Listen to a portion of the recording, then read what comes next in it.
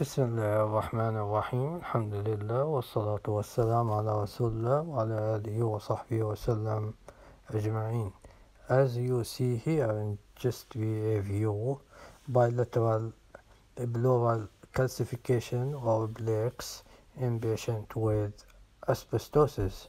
And also you see sternotomy sutures. The calcification pattern here, it is typical for pleural and giving the sign of holly leaf sign. Thank you for listening and hoping to see you soon in another talk.